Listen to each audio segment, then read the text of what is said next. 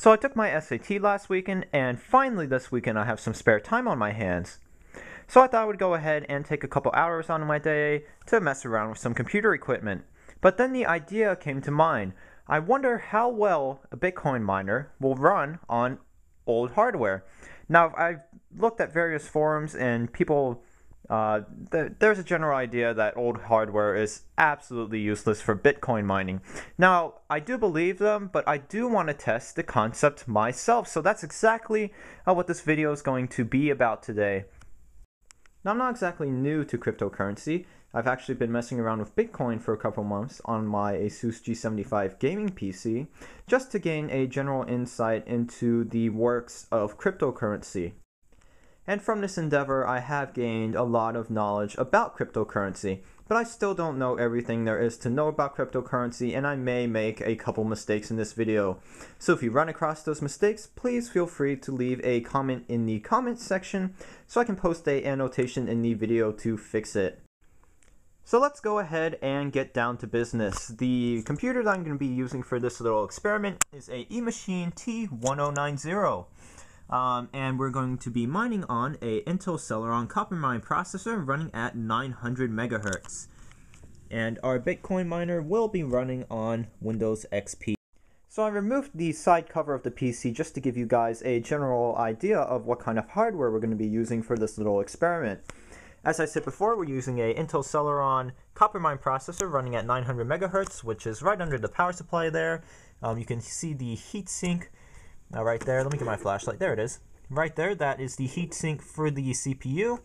Um, I have a 320 watt power supply on this. I believe this computer consumes around 150 watts, I want to say. I have a 20 gigabyte Seagate hard drive. Uh, there's a USB 2.0 card. I mean, that, that's not really going to affect the performance.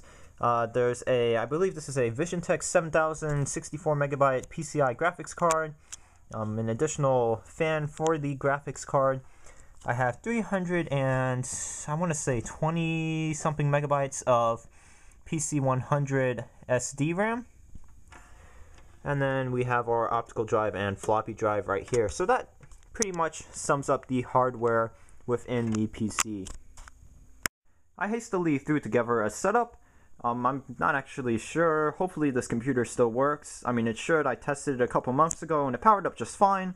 Um, so let's go ahead and power everything up.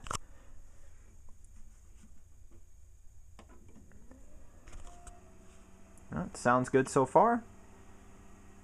There we go. Computer and monitor still works.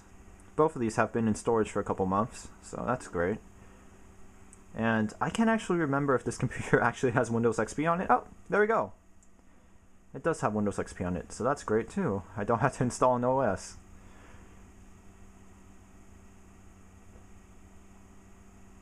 Alright, so I'll just go ahead and let it boot, and I will be back momentarily.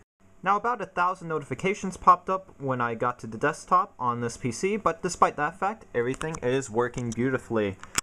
I've actually went ahead and transferred my mining software onto the hard drive of this computer and we can go ahead and get started mining using this uh, Intel Celeron Coppermine CPU. And to satisfy my earlier speculation, this computer does have 384 megabytes of RAM installed in it, not 320 something megabytes like I said earlier. And for this experiment, I am going to be using GUI Miner, which has a graphical user interface, so it makes mining uh, a whole lot easier for noobs like me. So there's two main things I'm really interested in recording during this experiment. The first one is how long it takes to accept one share while using a Intel Celeron Coppermine processor. And the second thing I really want to see is the average hash rate of the processor itself.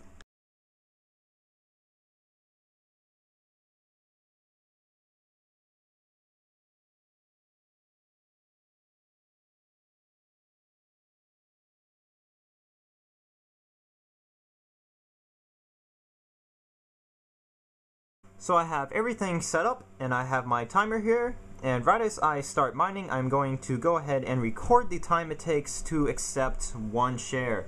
So let's go ahead and get started. I am not going to record the whole time just because I don't have enough memory left in my camera.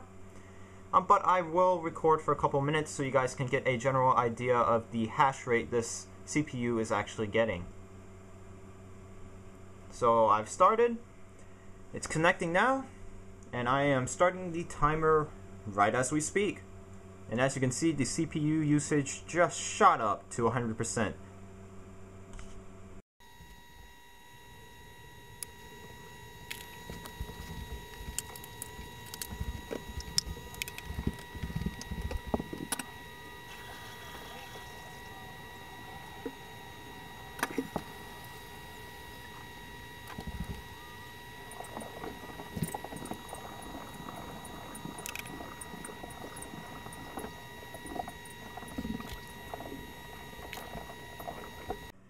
So just a quick little update. It's been about one hour since we started mining for Bitcoins, and I still haven't accepted any shares.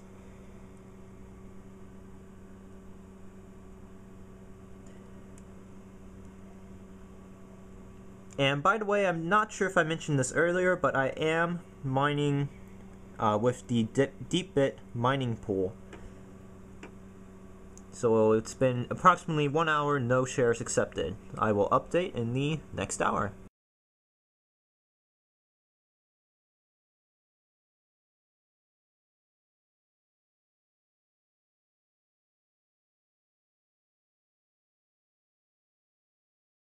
So I am currently an hour and nine minutes into mining bitcoins. I still have not accepted the share, but at this time I have to leave to go do something else and unfortunately that means I cannot peri periodically check up on the miner. So I'm just going to leave this camera rolling uh, while I'm gone.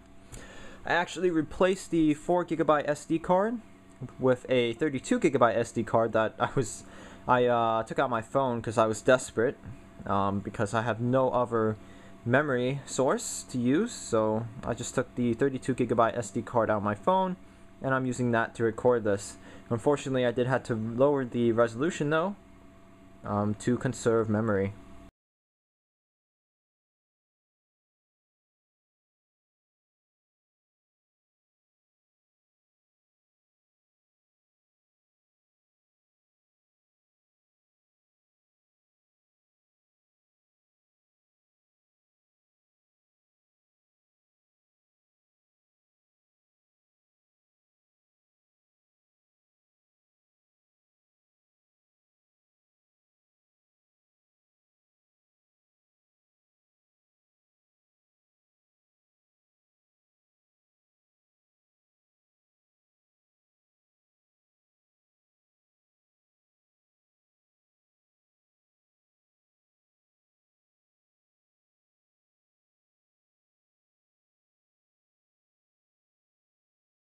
So I stopped to make a fallback point just in case my camera runs out of batteries uh, within the next hour or so. Because so far, this computer has been mining for approximately 3 hours and I still have not been able to accept one share. Um, and it's getting kind of annoying. So I'm going to go ahead and restart and see how much longer it takes before he can at least accept one share.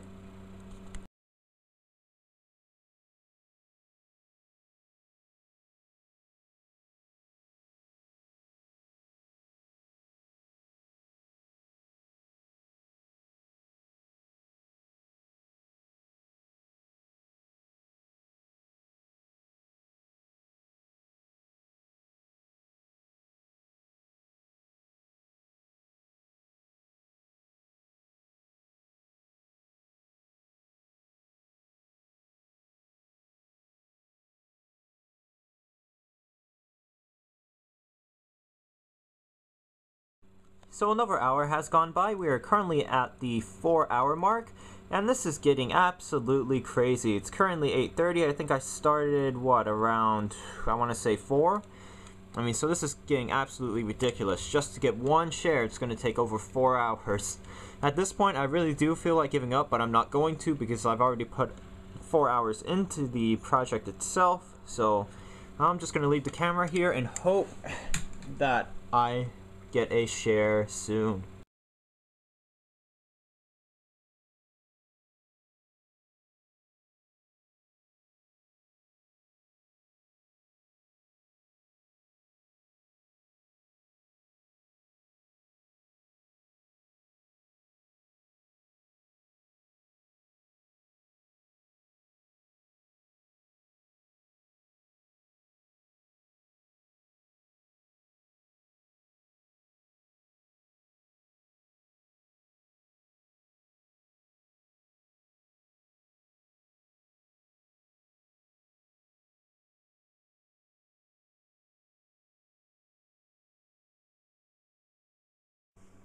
Hey look, I finally got one share. Five hours later. Look at that. It's been five it took five hours to get one share. And I believe one share on the DeepBit pool is approximately like 0.0000001 bitcoins, which is around a hundredth of a cent. Um, so yeah, this just demonstrates how pointless it is to mine bitcoins on old hardware. And it also demonstrates how unprofitable it is as well. I mean, I've used a, a lot of electricity. By the time you would have mined one bitcoin, which by the way on this hardware would probably take you a couple years, you would have used thousands of dollars in electricity alone. Um, so yeah, it's mining bitcoins on old hardware is just throwing money out the window. And I don't think this computer would last long enough to mine one Bitcoin. I mean, this program is just toasting the CPU the whole time the load is at 100%. And I know for a fact that that thing is getting hot. Unfortunately, I don't have any sort of temperature sensors or probe uh, probes to measure the temperature. I would really like to. That would be interesting, but unfortunately, I don't have the equipment on hand. Throughout the whole process, the computer had a pretty steady hash rate. It held steady at about 250 kilohashes, um, which is low, but it was able to hold that throughout the duration of the Bitcoin mining process. So I'm going to try to add some more content into the video by asking this last question. Is there any lasting hardware damages done to the computer after running at full load for five hours. I mean, I'm sure after uh, doing this for a couple months, I mean, all the capacitors would be just shot because it would have. Uh, it gets significantly hot in this case. Uh, even with all the extra circulation, such as this fan and the new power supply, which moves a pretty large amount of air, but it still gets pretty hot in this case. Um, the capacitor bank that I'm actually worried about is the one that's right next to the CPU heatsink. And actually right now, they all look good. Which, I mean, they should look good. It, was only running that uh, Bitcoin miner for five hours. It, I mean, if, if the five hours destroy those capacitors, uh, they're, they're obviously faulty. Since I'm not willing to run this computer constantly for the next couple months with a Bitcoin miner, because that would just be a complete waste of energy, I am going to ask the audience Has anyone had any experience with long term damage uh, to their actual machine from Bitcoin mining for a long period of time? If you have experienced damage to your PC from Bitcoin mining, please feel free to write about your experience in the comments section. I would really like to hear about it. Even though this video wasn't super content packed, I still thought it was interesting because we got to see uh, how wasteful running a Bitcoin miner on old hardware really is. And there's also some other things you could take away from this video. Um, so that's about it. If you have any questions, comments, or concerns, just post a comment in the comments section. Please don't forget to subscribe to my channel, and please do not forget to like this video. I will see you guys next time.